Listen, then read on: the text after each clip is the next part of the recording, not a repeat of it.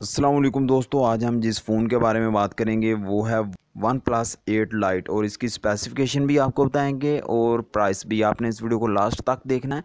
तो चलें स्टार्ट कर लेते हैं इस वीडियो को और लॉन्च डेट के बारे में भी डिस्कस करने वाले हैं हम इसी वीडियो में। सबसे पहले हम इसमें ऑपरेटिंग सिस्टम की बात करें तो ये आपको एंड्रॉयड टेन के साथ देखने को मिल सकता है।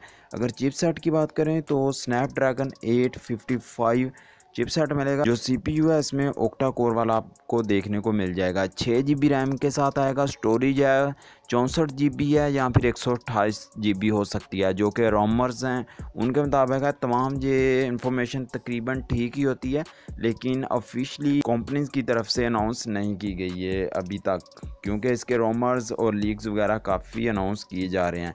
कैमरा, इसमें आपको ट्रिपल कैमरा देखने को मिल सकता है। 48 का मेन लेंस होगा और सेकंड लेंस 5 मेगापिक्सल और थर्ड लेंस 2 मेगापिक्सल का हो सकता है। फ्रंट में आपको 16 मेगापिक्सल का कैमरा मिलेगा।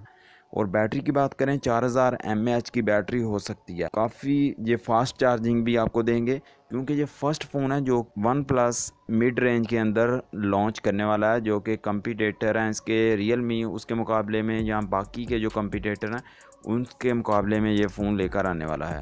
तो अभी कुछ इसकी ये स्पेसिफिकेशन के लीक्स वगैरह हैं, वो मैंने आपसे शेयर कर दिए हैं। अगर आप नेक्स्ट भी इसी तरह की टेक के रिलेटेड वीडियो देखना चाहते हैं तो चैनल सब्सक्राइब लाजमी से करें। मिलते हैं किसी नेक्स्ट वीडियो में हाफिज़।